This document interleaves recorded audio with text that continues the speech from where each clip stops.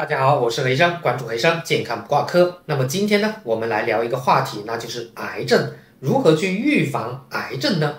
那其实很多人啊都会觉得这个癌症离我们很远很远，但事实呢并非如此。根据统计呢，每年啊全球新增的癌症患者呢数量惊人，而让我们震惊的是呢，就是说。这些癌症，其中百分之八十都是跟我们日常的生活习惯紧密相连的。孙院院士是一位肿瘤专家，他通过自己六十多年的临床观察，也得出啊一样的结论。那么接下来呢，我们就来看一看孙院院士提出的五点专业建议。那首先第一个呢，就是要优化饮食结构。那么根据统计呢，蔬菜水果的摄入不足是导致癌症占比最高的一个因素，那么高达百分之十五点六。所以呢，其实我们要调整我们的一个饮食结构，增加蔬菜、水果、全谷物的食物的摄入，同时呢，减少高脂肪、高糖、高盐的食物的摄入。那这样子呢，可以帮助我们保持健康的体重，同时降低患癌的风险。那么第二点呢，就是不吸烟。每年呢，大约有一百万人死于与吸烟相关的一个癌症。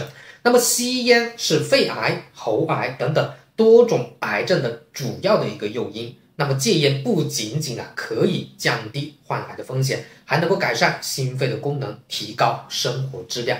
那么第三点呢，就是避免酗酒。过量的饮酒会增加肝癌啊、胃癌等等这些癌症的风险。那么我们应该啊尽量避免酗酒，保持健康的饮酒习惯。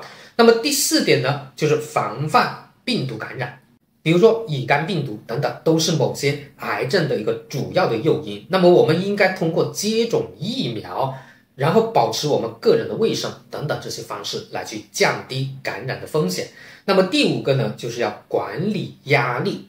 百分之四十到百分之八十的癌症的患者都存在长期的这种啊压抑的这种消极的情绪。那么长期的这种心理压力会增加患癌的风险。我们呢要学会调节自己的情绪，保持积极乐观的心态。那么除了刚刚讲的五点建议以外呢？我们还可以通过调整我们的饮食这种啊习惯来去预防癌症。那么接下来呢啊就跟大家介绍啊五种对预防癌症啊有帮助的食物。那么首先第一个呢就是深绿色的啊绿叶蔬菜。那么比如说菠菜啊、芥蓝啊、啊鱼甘蓝啊等等，那么它们都富含这些叶酸、维生素 C、抗氧化剂等等，那么有助于降低患癌的风险。那么第二种食物就是全谷物类的一个食物，比如说这些燕麦呀，啊，还有全麦面包啊等等，它们呢都是富含啊膳食纤维啊，还有多种维生素、矿物质，有助于维持我们肠道的一个健康，降低患癌的风险。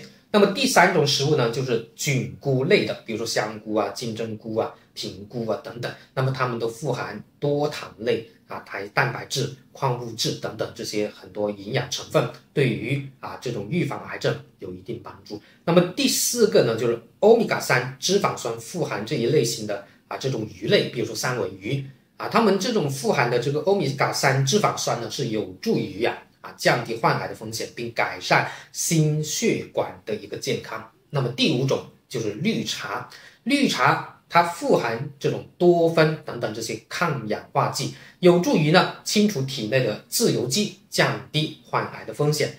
那么通过今天的分享啊，我们了解了癌症与这个生活习惯的一个关联啊，以及如何通过调整我们的生活习惯。饮食习惯来去预防癌症。那么孙院院士的一些专业的建议，还有就是啊健康啊食物的这些益处啊，都为我们提供了啊宝贵的这种参考。那么希望呢，我们能够从现在就开始调整自己的生活习惯，还有饮食结构，积极的去预防癌症的发生。好的，那今天就跟大家聊到这里，关注回声健康不挂科，我们下期再见。